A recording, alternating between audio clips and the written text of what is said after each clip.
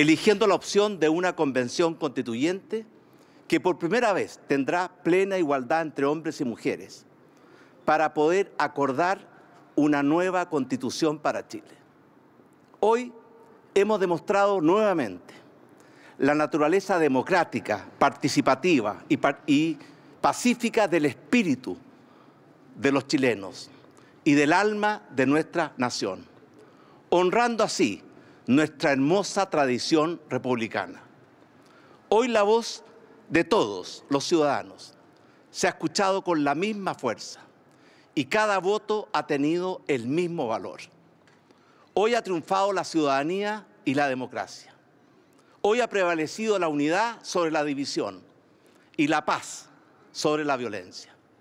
Y esto es un triunfo de todos los chilenos y chilenas que amamos la democracia, la unidad y la paz.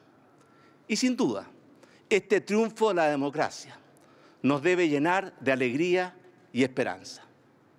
Los chilenos hemos demostrado que el diálogo es más fecundo que la intolerancia, que la colaboración es más poderosa que la confrontación y que la esperanza es más inspiradora que el miedo. Este plebiscito no es el fin, es el comienzo de un camino que juntos, todos, deberemos recorrer para acordar una nueva constitución para Chile. Hasta ahora, la constitución nos ha dividido. A partir de hoy, todos debemos colaborar para que la nueva constitución sea el gran marco de unidad, de estabilidad y de futuro, y que se constituya en la casa de todos y en la ley fundamental de la República, respetada y legitimada por todos los chilenos. Nuestro gobierno asumió dos compromisos firmes y claros que constituyen una misión de Estado. Primero, organizar y desarrollar un plebiscito transparente, participativo y seguro, para que la voluntad de los chilenos pudiera expresarse en forma libre y pacífica. Estoy seguro que todos los chilenos sentimos emoción y orgullo al ver cómo participaban los adultos mayores, los discapacitados, los jóvenes, las mujeres, con armonía y con paz. También teníamos el compromiso de proteger la salud de los chilenos, para lo cual aplicamos todas las normas sanitarias que eran necesarias para proteger la salud de cada uno de los votantes. Pero teníamos un segundo compromiso, impulsar una constitución que recoja los valores y principios que viven en el alma de nuestra sociedad. Una constitución que logre recoger las tradiciones democráticas y republicanas de nuestra nación. Una constitución que reconozca y proteja los derechos y las aspiraciones de todos nuestros ciudadanos. Y una constitución que organice los poderes del Estado, proteja a los ciudadanos de los abusos y evite las discriminaciones. Nuestro gobierno siempre estará del lado de la libertad, la democracia, la paz y los derechos humanos.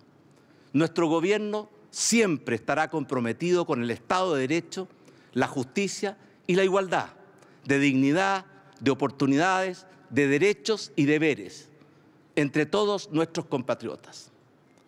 Chilenas y chilenos, la noche del martes 12 de noviembre del año pasado, después de una jornada de extrema violencia, como presidente de la República, propuse a todos mis compatriotas un triple acuerdo. Un acuerdo por la paz, un acuerdo por la justicia y un acuerdo por una nueva constitución. La noche del viernes 15 de noviembre, una gran mayoría de parlamentarios y partidos políticos, en una hora crítica para nuestra República, alcanzó un acuerdo por la paz y la nueva constitución que nos ha permitido recorrer las vías del diálogo y de los acuerdos. Así nació un camino democrático, pacífico y en base a acuerdos para encauzar nuestro país al plebiscito constitucional que hoy hemos celebrado y que marca el inicio de un proceso constituyente. Una constitución nunca parte de cero, porque representa el encuentro de las generaciones. Una constitución siempre debe recoger la herencia de las generaciones que nos antecedieron, la libertad y voluntad de las generaciones presentes y la esperanza de las generaciones que vendrán.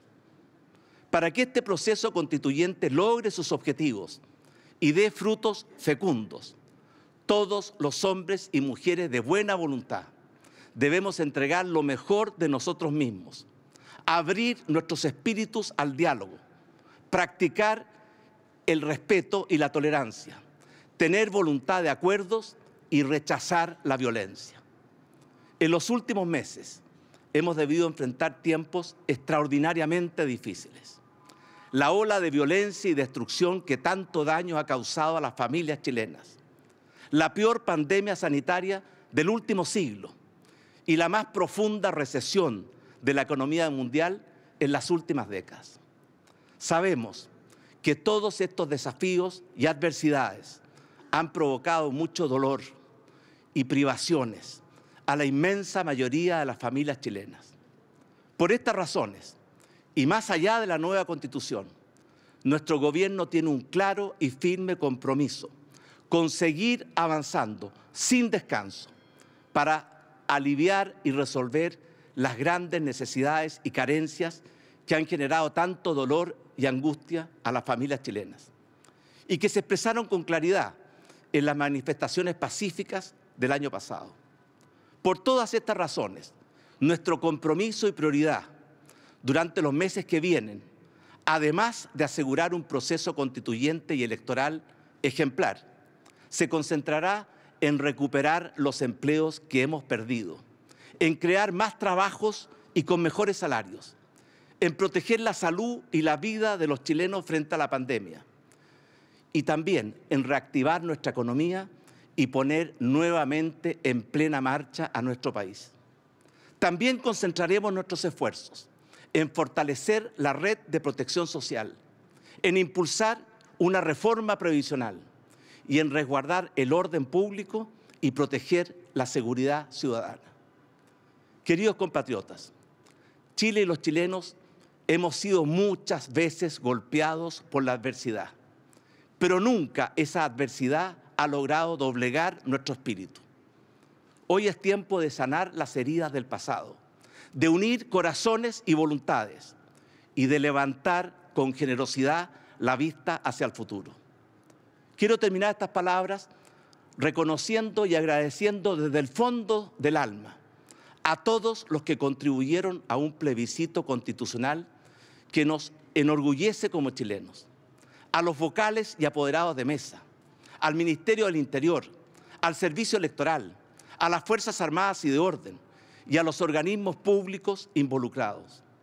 Pero por sobre todo, reconocer y agradecer a los millones y millones de ciudadanos en Chile y en el extranjero que cumplieron con su deber cívico, que colaboraron con aquellos que lo necesitaban, que respetaron las medidas sanitarias y que hicieron su aporte votando en este plebiscito. Esto es amor por Chile. Quiero pedirles a todos mis compatriotas que al término de esta jornada electoral vuelvan pacíficamente a sus hogares. Cuiden su salud, respeten las normas sanitarias y condenen todo acto de violencia que tanto sufrimiento y temor ha generado a las familias chilenas. Me siento orgulloso de lo que juntos los chilenos hemos logrado. Y también hago un llamado a la unidad para recorrer y enfrentar los grandes desafíos del futuro. Y también estoy convencido y le pido a mis compatriotas que estemos a la altura de este desafío histórico. Y así, como presidente de Chile, pido su ayuda para poder cumplir con mis responsabilidades y misión como presidente de todos los chilenos. También quiero compartir con ustedes mi más profunda fe y esperanza en que como siempre lo hemos hecho, una vez más nos pondremos de pie y reemprenderemos la marcha hacia un futuro mejor. Somos una gran nación, una gran familia. Todos amamos a nuestra patria. Todos queremos lo mejor para nuestros seres queridos y para nuestros hijos. Y todos sabemos que para avanzar juntos no debemos dejar a nadie atrás. Que Dios bendiga a Chile y a su democracia. Que Dios bendiga a todos los chilenos. Muchas gracias y muy buenas noches.